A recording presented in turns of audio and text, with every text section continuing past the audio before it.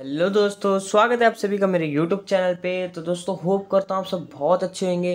तो फ्रेंड्स, आज की वीडियो का टाइटल देख के तो आप समझ गए होंगे कि आज की वीडियो में आपको क्या बताने वाला हूँ।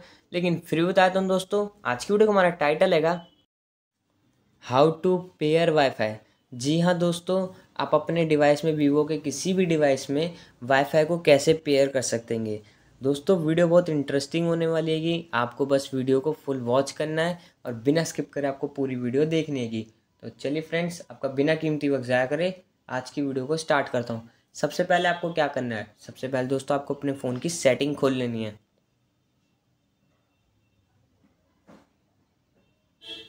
सेटिंग खोलने के बाद दोस्तों, यहाँ पर आपको दोस्तों दिखेगी वाईफाई सेटिंग अगर आपके डिवाइस में आपको नहीं दिखती तो आप ऊपर सर्च भी कर सकते हैं।